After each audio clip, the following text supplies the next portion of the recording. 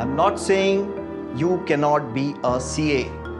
I'm saying you need to ask this question to yourself कि मुझे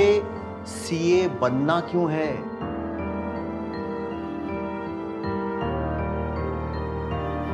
क्योंकि मेरे अभिमन्यु एक बार जब इस चक्रव्यूह में घुस गए ना